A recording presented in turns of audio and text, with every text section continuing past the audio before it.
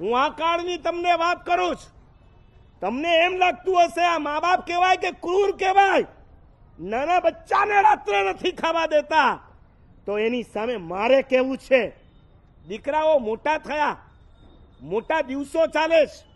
દાદીમાને પોતાને ઓળી છે. છતાંય, અમે ખાઈ લે બેટા. ઓલો કે, આજ નહીં ખાણું. ના ના, ખાઈ લે. પછી રાતના તને ભૂખ લાગશે. આવી દાદીમાઓને મારે શું કહેવું?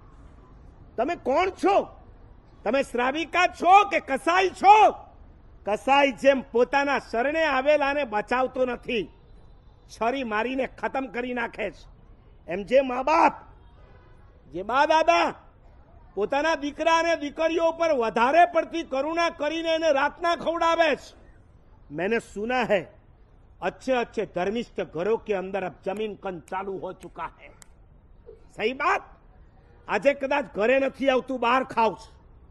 પણ એ બહારના પાપે તમારા ઘરમાં આવતા બહુ વાર નહીં લાગે. શરૂઆત ક્યાંથી થાય કહી દઉં? આંખમાં જરા તકલીફ છે એટલે ડોક્ટરે કીધું છે ગાજરનો રસ પીવા ઓકે? એ પાછા મને પૂછવા આવે, મારા સાહેબ, આમ તો મારે બાધા છે, જમીન કદ નહીં ખાવાની. પણ ડોક્ટરે કીધું છે એટલે હવે ગાજરનો રસ પીવો પડશે. મારે છૂટ આપવાની. મારે સિક્કો મારી આપવાનો. મેં કે રાષ્ટ્રપતિ હું કે સિગ્નેચર કર દઉં એટલે હું સહી કરી આપીશ પછી તમે ગાજર પીનો રસ પીશો એટલે તમને પાપ નહીં લાગે એમ હું એને એમ પકડું છું ઉલટું પકડું હું એને ગોળે પકડું છું એના જ ગોળે વળગું मान लो जैसे आपकी आंख में विजन में प्रॉब्लम हुआ ऐसा ही यदि मुझे प्रॉब्लम हुआ મને તકલીફ થઈ અને હું તને ડોક્ટર પાસે લઈ ગયો આઈ સ્પેશિયાલિસ્ટ ઈએનટી ચલો, આઈ સ્પેશિયાલિસ્ટની પાસે જઈએ અને મારે જરાક બતાવવું છે. અને તમે મારી સાથે આવ્યા. ડોક્ટરે બધું જ જોયા પછી is a non Jain doctor કે, મહારાજ સાહેબ, તમારી આંખમાં જરા તકલીફ થઈ જાય, થોડા દિવસ તમારે દવા પણ લેવાની અને તમારે ગાજરનો રસ પીવો પડશે. સાચું બોલો, તમે મારી બાજુમાં ઊભા હો. ડોક્ટરે મને ગાજરનો રસ પીવાનો કીધો હોય હું હજી બોલું એ પહેલા તમે તૂટી પડો કે અરે અરે डॉक्टर साहब ऐसा क्या बोलते हो ऐसा नहीं बोलने का ये हमारे गुरु महाराज कभी गाजर का रस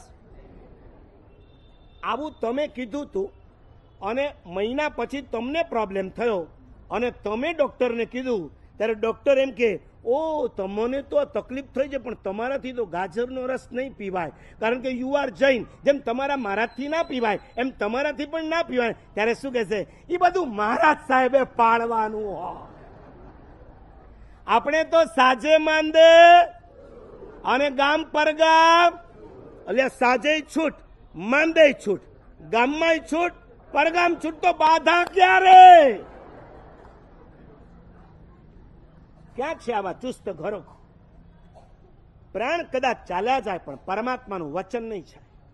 રઘુકુલ રીત સદા ચલી આઈ, પ્રાણ જાય, વચન છે. ધીરે ધીરે તપ વધતો ચાલ્યો છે. પણ એની સામે ભોજનની આસક્તિ ચિકાર વધી ભગવાન મહાવીર પચીસો વર્ષ પહેલા ઉત્તરાધ્યન સૂત્રમાં એટલે જ કહી ગયા આ શરીરની પાંચ ઇન્દ્રિયમાં કોઈ ખતરનાક ઇન્દ્રિય હોય, આંખ નથી, કાન નથી, નાક નહીં, ચમડી નહીં, પણ કઈ છે? અખણ રસણી. આ મેઇન સ્વિચ છે. ઘરની બધી જ સ્વિચ એક સાથે બંધ કરવી હોય તો પંખાની એસીની લાઇટની આ બધી અલગ અલગ બંધ કરવા નહીં જવાનું. શું કરવાનું? એક મેઇન સ્વિચ બંધ કરો. ઓટોમેટિક બધી સ્વિચ બંધ થઈ જાય. રસનેન્દ્રિયને તમે ખતમ કરી નાખો. બાકીની બધી જ ઇન્દ્રિય ખતમ. આનું કનેક્શન બધા સાથે છે જો વિગય ભરપૂર ભોજન લે છે, એની આંખો જ્યાં ત્યાં ભટકવા માંડે છે. એના કાનને સુંદર મજાના ગીતો સાંભળવાની ઈચ્છા થાય છે. એની ચમડી, એના શરીરને મૃદુ સ્પર્શ કરવાની ઈચ્છા થાય. એ એક રસનેન્દ્રિય. સાચું બોલો, ઉપવાસ કરો, જેમ જેમ આગળ વધે તેમ તેમ ટીવી જોવાનું વધતું જાય કે ઘટતું જાય? ઘટતું જશે. નહીં, હવે ગમતું નથી. હવે સારા ગીતો સાંભળો, આઈપોડ, આઈપેડ, આ બધું લગાડી, અને આમ ડોલવાનું ગમે ખરું? નહીં નહીં. તમારી તો કઈ વાત થાય નથી હું મુંબઈમાં હતો, માટુંગામાં.